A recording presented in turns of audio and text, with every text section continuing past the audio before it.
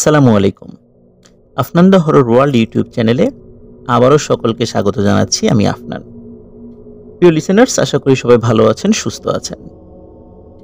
এই মুহূর্তে যে স্টোরিটি আমি আপনাদের সাথে শেয়ার করতে যাচ্ছি, এটি রাজবাড়ী জেলার গোয়ালন্দ উপজেলার নবগ্রাম ইউনিয়নের আতর চেয়ারম্যান ঘাট বাজারে একটি লাশ পাওয়া যায়। সেই লাশকে কেন্দ্র করে একটি ঘটনা ঘটেছিল।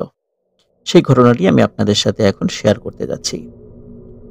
আপনারা লাশ কালাম ভাইয়ের একটি ভিডিও দেখে থাকবেন, যেটি ভূত ডট কমের ইউটিউব চ্যানেলে এখনও রয়েছে, সেখান থেকে আপনারা দেখে নিতে পারবেন।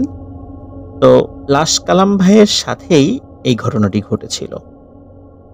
তো কথা না বাড়িয়ে সরাসরি ঘটনাতে চলে যাচ্ছি, তবে ঘটনাটিতে যাওয়ার আগে একটি কথা আপনাদের সকলকে বলে দিতে চাই।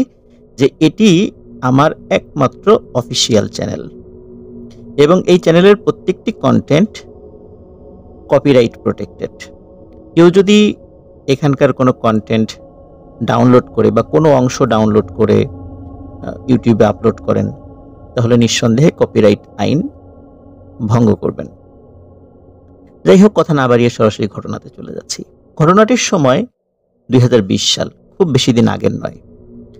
আর লাশ কালাম ভাইয়ের প্রকৃত নাম আসলে মোহাম্মদ আবুল কালাম। উনি গোয়ালন্দ উপজেলার বিভিন্ন ধরনের বিশেষ করে যে যে লাশগুলো বা যে মানুষগুলো অপমৃত্যু হয় যাদের এই সমস্ত লাশগুলো মানে নিয়ে আসার জন্য পুলিশ এই কালাম ভাইকে খবর দেন। কালাম ভাই সেই লাশগুলো সংগ্রহ করে এবং রাজবাড়িতে নিয়ে যায়। রাজবাড়িতে নিয়ে যাওয়ার পর সেটা পোস্টমর্টেম করার পরে আবার এই লাশগুলো তাদের পরিবারকে বুঝিয়ে দেওয়া হয়। এটি উনি মাঝে মাঝে করেন, তবে এটি কিন্তু ওনার একমাত্র পেশা নয়।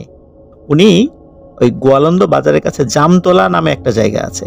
এই জামতলা এই জায়গাতে ওনার একটা চায়ের দোকান রয়েছে। অসাধারণ সুন্দর চা বানানোর হাত ওনার। আমি নিজেও সে চা খেয়েছি এবং আমাদের কয়েকজন লিসেনার্সও ওনার পরিচয় পাওয়ার পর ওনার সাথে দেখা করেছেন, ওনার হাতে চা খেয়েছেন। যেটা উনি আমাকে পরবর্তীতে বলেছেন। তো যাই হোক দু হাজার বিশ সালের কোনো এক সকালে হঠাৎ করে গোয়ালন্দ থানার ওসি সাহেব কালাম ভাইকে ফোন করেন।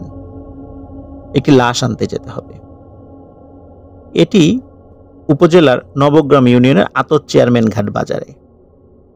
তো আতর চেয়ারম্যান ঘাট বাজারে যাওয়ার জন্য ছোট্ট একটি নদী পার হতে হয়। আসলে এটা নদী না, এটাকে নালা বলতে হবে। কারণ হচ্ছে পদ্মা নদীর বিভিন্ন ছোট ছোট মানে যখন বর্ষাকাল থাকে, তখন ছোট ছোট নালার মতো সৃষ্টি হয়, পানি বেশি থাকার কারণে। নর্মালি যখন শুকনো মৌসুম থাকে, তখন সেখানে পায়ে হেঁটে, মোটরসাইকেলে, কখনো কখনো পিক আপ বা নসিমন, করিমন এগুলো নিয়েও চলে যাওয়া যায়। তো যেহেতু তখন বর্ষাকাল ছিল এই জন্য সে তখন গাড়ি নিয়ে সরাসরি যাওয়ার সুযোগ নেই। কালাম ভাইয়ের একটি পিক আছে, যে পিক উনি মাঝে মধ্যে এই লাশগুলো নিয়ে রাজবাড়ি লাশ কাটা ঘরে নিয়ে যান এবং আবার সেই লাশগুলো নিয়ে এসে তাদের পরিবারকে বুঝিয়ে দেন। তো ওসি সাহেবের ফোন পেয়ে তিনি তার ওই পিক নিয়ে এবং আরও যেই পুলিশের অন্য সদস্য যারা ছিল তারাও তাদের গাড়ি নিয়ে আত চেয়ারম্যান ঘাট বাজারের দিকে যেতে থাকেন। একটি নির্দিষ্ট জায়গায় যাবার পর তখন তো আর গাড়ি নিয়ে ওই পাশে যাওয়া যাচ্ছে না।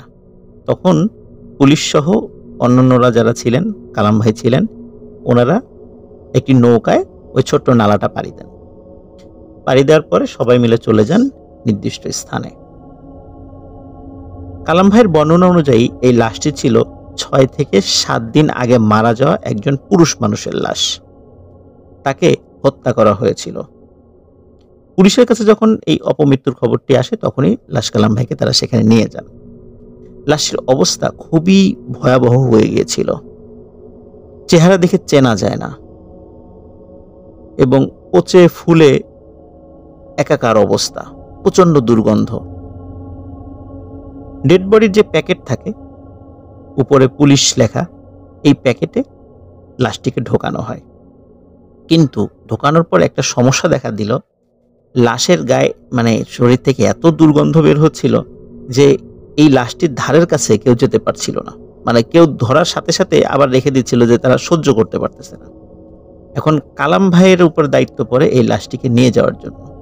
তখন কালাম ভাই এই লাশটিকে নিজের কাঁধে ওঠান এবং কাঁধে উঠিয়ে উনি লাশটি নিয়ে যেতে থাকেন। যখন লাশটি উনি কাঁধে নিয়ে পুলিশ সহ ওই ঘাটে আবার চলে আসেন, ঘাটে কিন্তু অনেকগুলো ট্রলার ছিল। কিন্তু কোনো ট্রলারই এই লাশ টানতে রাজি হয় না। সবাই বলে, এই তো অল্প একটু তো, সামান্য একটু। এতটুকু পার করে দাও। কিন্তু কোনো ট্রলার যে মাঝিরা যারা ছিল যে বোটম্যান ছিল, তারা বলে যে, না, আমরা ট্রলারে লাশ টানি না। পুলিশরা যখন দেখল যে কোনো ট্রলার মানে রাজি হচ্ছে না, যেখানে সেখানকার যারা মাঝিরা রাজি হচ্ছে না, তখন এই মাঝিদেরকে পুলিশরা ধমকাতে থাকেন, যাতে করে তারা ভয় পেয়ে নিয়ে যায়। কিন্তু ফল হয় উল্টো। এই ট্রলারে থাকা মাঝিরা মোটর স্টার্ট দিয়ে ট্রলার সেখান থেকে নিয়ে অন্যদিকে চলে যান। সেখানে কোনো ট্রলার আর ছিল না বললেই চলে। একটি ট্রলার শুধু ছিল। এই ট্রলারের মালিক বা যিনি মাঝি ওই সময় যারা ছিলেন, তার সাথে আবার কালাম ভাইয়ের খুব সম্পর্ক ভালো ছিল। কালাম ভাই খুব অনুনয় বিনয় করেন যে, ভাই, আপনি এটা নিয়ে চলেন। আর পুলিশরা যখন দেখে যে, না মানে ধমক দিয়ে লাভ হয়নি, তখন তারাও বেশ নরম সুরে তাকে রাজি করায়। সে রাজি হয়। লাশটি, লাশটিকে নিয়ে সবাই নদী পার হয়। নদী পার হওয়ার পরে কালাম ভাইয়ের পিক আপে লাশটিকে তোলা হয় এবং কালাম ভাই রাজবাড়িতে চলে যান। রাজবাড়ি লাশ কাটা ঘরে পোস্টমর্টেম করার পরে আবার একই জায়গায় ফিরে আসেন এবং একই ট্রলারে নিয়ে গিয়ে ওই লাশটি তার পরিবারকে বুঝিয়ে দেন। দাফন কাফন শেষ হয়। কালাম ভাই সারাটা দিন এই লাশ নিয়ে ব্যস্ত ছিলেন। ওই দিন বাড়িতে ফিরতে তার বেশ রাত হয়ে যায়। রাত প্রায় দশটা কি সাড়ে দশটা হয়ে যায়। উনি বাড়িতে ফিরে গোসল করে খাওয়া দাওয়া করে এশার নামাজ পড়ে শুয়ে পড়ে। রাত তখন প্রায় একটা কি দেড়টা আনুমানিক। উনি আমাকে এক্স্যাক্ট সময় বলতে পারেনি আনুমানিক একটা সময় বলেছিলেন। উনি বলছেন, হঠাৎ দরজায় টোকার শব্দ। ঠক ঠক ঠক ঠক শব্দ করে বলছে, কালাম ভাই বাড়িতে আছেন? কালাম ভাই? তখন কালাম ভাই কিন্তু একদম ঘুম ঘুম চলে আসছে কারণ সারা দিন ওনার অনেক পরিশ্রম হয়েছে। তো কালাম ভাই ভিতর থেকে বলে ওঠে, কে? তখন বাইরে থেকে বলে ওঠে, আমি। কালাম ভাই বলে ওঠে, আমি কে? তখন বাইরের থেকে ওই কণ্ঠস্বরটি বলে ওঠে, আমাকে চিনতে পারছেন না? আমাকেই তো নিয়ে আজকে সারাদিন ব্যস্ত ছিলেন। আমাকেই তো টানাটানি করলেন। আমি এসেছি আপনার সাথে দেখা করতে। তখন কালাম ভাই চিন্তা করেন, এত রাত্রে কে এই রসিকতা করছে? কাকে নিয়ে আজকে সারাদিন ব্যস্ত ছিলাম? উনি আসলে মানে বিষয়টা বুঝতে পারছেন না শুরুর দিকে। তখন বলে যে, কে রে তুই? কাকে নিয়ে সারাদিন ব্যস্ত ছিলাম? তখন ওই কণ্ঠস্বরটি বলে ওঠে, আজকে সারাটা দিন যে লাশ নিয়ে ব্যস্ত ছিলেন, আমি সেই লাশ। আপনার সাথে আমি দেখা করতে এসেছি। কালাম ভাই তখন খুব বিরক্ত হন। চিন্তা করেন, এত রাত্রে আমার সাথে রসিকতা করার জন্য কে আসলো এখানে? তার স্ত্রী তখন কিন্তু এই কথোপকথন শুনছে, বাইরের ওই শব্দ তিনিও শুনছিলেন, তারও ঘুম ভেঙে যায়। তখন কালাম ভাই বলেন যে, তুমি থাকো। তার স্ত্রীকে বলে যে, তুমি থাকো, আমি দেখে আসি বাইরে আসলে কে আমাকে ডাকাডাকি করে, এত রাত্রে কে ডিস্টার্ব করে আমাকে? কে এই রসিকতা করছে, ঠাট্টা মস্করা করছে? তখন কালাম ভাই দরজা খুলে বাইরে বের হন। তিনি শুরুতে বাইরে কাউকে দেখতে পান না। কিন্তু বাইরে কাউকে দেখতে না পেলেও ওনার বাড়ির উঠোনে অদ্ভুত একটি জিনিস দেখতে পান। উনি দেখেন উঠোনের উপরে মানে শূন্যের উপরে, প্রায় বারো তেরো হাত উঁচুতে একটি কালো মেঘের মতো দেখা যাচ্ছে। মেঘ যেমন আমরা আকাশে দেখি তুলোর মতো দেখা যায়। আবার কালো মেঘ যেমন দেখা যায়, ঠিক এরকম কালো মেঘ, মেঘের একটা টুকরো উঠোনের উপরে ভাসছে, শূন্যের উপরে। এবং উনি প্রথমে দেখে চিন্তা করেছে যে আচ্ছা আমি কি ঠিক দেখছি নাকি মানে ঘুম থেকে আধো ঘুম, আধো জাগ্রত অবস্থায় এখন আছি? এই অবস্থা আমি চোখে ভুল দেখছি। কিন্তু উনি দেখেন যে, উনি ঠিকই দেখছেন। হঠাৎ ওই মেঘের মধ্য থেকে একটি আওয়াজ ভেসে আসে। এই কালাম, এদিকে আয়। কালাম ভাই তখন তার শরীরের সমস্ত শক্তি হারিয়ে ফেলেন। কালাম ভাই কিন্তু এমনিতে অনেক সাহসী একজন মানুষ। কারণ উনি রাত নাই, দিন নাই যেভাবে লাশ টানেন, সাহস না থাকলে এটা সম্ভব নয়। আরও একটি বিষয় বলে রাখি, কালাম ভাই কিন্তু কোনো ধরনের কোনো নেশা করেন না। উনি চমৎকার একজন মানুষ, খুব ভালো একজন মানুষ, নামাজ কালাম পড়েন। উনি কোনো ধরনের নেশা করে লাশ টানেন না। তো যার কারণে এলাকায় ওনার একটা খুব ভালো নাম ডাক আছে। কিন্তু যেহেতু এক নামে চেনার জন্য, কালাম নামে আরও অনেকেই আছে, এই জন্য সবাই তাকে লাশ কালাম নামে চেনে। তো উনি তো মানে চিন্তা করেছে যে কি ব্যাপার এভাবে আমাকে ভিতর থেকে ডাকছে। তো উনি আসলে খুব ভয় পেয়েছেন ওই সময়। এমনিতে কখনো লাশ টানাটানি করতে গিয়ে ভয় না পেলেও ওই সময় উনি মারাত্মক ভয় পান। তখন হঠাৎ উনি আরও দেখেন যে ওই মেঘের ভেতর থেকে কিছু একটা জিনিস বাইরে বের হয়ে আসছে এবং ওনার ঘরের বারান্দায় কিন্তু লাইট ছিল এবং লাইটের আলো ছিল। এমনটা নয় যে অন্ধকারে বা চাঁদের আলোতে উনি দেখছেন, বিষয়টা এরকম নয়। উনি ওই লাইটের আলোতে স্পষ্ট দেখতে পাচ্ছেন যে, যেই জিনিসটি ওই মেঘের মধ্য থেকে বের হয়ে এসেছে, সেটি আর কেউ নয়। সত্যি, আজকে যে লাশটি নিয়ে উনি সারাটা দিন কাটিয়েছেন, টানা হেঁচড়া করেছেন, এটি সেই লাশ। ওই লাশটি আস্তে আস্তে কালাম ভাইয়ের কাছে চলে আসে। কিন্তু কালাম ভাই তার শরীরের সমস্ত শক্তি হারিয়ে ফেলেন।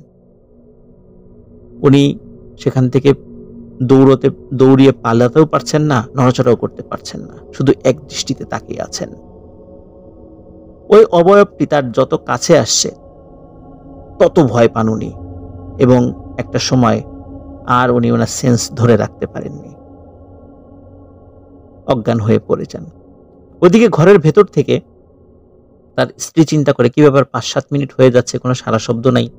উনি আবার দেখার জন্য ঘরের বাইরে বের হন। ঘরের বাইরে বের হয়ে দেখেন কালাম ভাই উঠোনের উপর অচেতন অবস্থায় পড়ে আছে। উনি বাড়ির অন্য সদস্যদেরকে ডাকাডাকি করেন। তারা উঠে আসে। কালাম ভাইকে ধরাধরি করে ঘরে নিয়ে যাওয়া হয়। তার জ্ঞান ফিরলেও উনি প্রচণ্ড অসুস্থ হয়ে পড়েন এবং ফরিদপুর মেডিকেলে বেশ কিছুদিন উনি ভর্তি ছিলেন।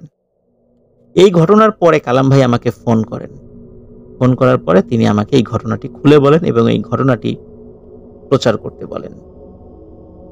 প্রিয় লিসেনার্স এটি ছিল কালাম ভাইয়ের সাথে ঘটনা। কিন্তু তার মানে এই নয় যে এই একটি ঘটনাই কালাম ভাইয়ের সাথে ঘটেছে। কালাম ভাইয়ের ভাষ্য অনুযায়ী, উনি যত লাশ এ যাবৎকাল পর্যন্ত টেনেছেন বা নিয়েছেন বা যাদের সাথে দেখা হয়েছে যে লাশগুলোর সাথে, বিশেষ করে এই মানে এই লাশগুলো লাশ কাটা ঘরে নেয়ার জন্য যে সমস্ত লাশগুলোর সাথে তার দেখা হয়েছে উনি নাকি যখন রাত্রে একা একা হেঁটে যান, এই প্রত্যেকটি লাশ উনি দেখতে পান, যে তারা সবাই তার সাথে সাথে হাঁটছে। এটি আমার কথা নয়, এটি কালাম ভাইয়ের কথা। এবং কালাম ভাইয়ের আমি যে ইন্টারভিউটা নিয়েছিলাম, আপনারা অনেকেই সেই ইন্টারভিউটা দেখেছেন। যেটি ভূত ডট কমের ইউটিউব চ্যানেলে ইন্টারভিউটা রয়েছে, আপনারা সেখান থেকে দেখে আসতে পারবেন। প্রিয় লিসেনার্স কালাম ভাইয়ের আরও কিছু ঘটনা নিয়ে আমি আপনাদের সামনে আবারও আসব। আপনারা কেউ চাইলে কালাম ভাইয়ের সাথে দেখা করতে পারেন রাজবাড়ী জেলার গোয়ালন্দ উপজেলার জামতলা নামক যে বাজারটা আছে, সেই বাজারেই কালাম ভাইয়ের চায়ের দোকান। এক নামে সবাই তাকে চেনে, লাশ কালাম বলে। কিন্তু লাশ কালাম বলে কালাম ভাইকে ভয় পাওয়ার কিছু নাই। উনি অসাধারণ ভালো একজন মানুষ।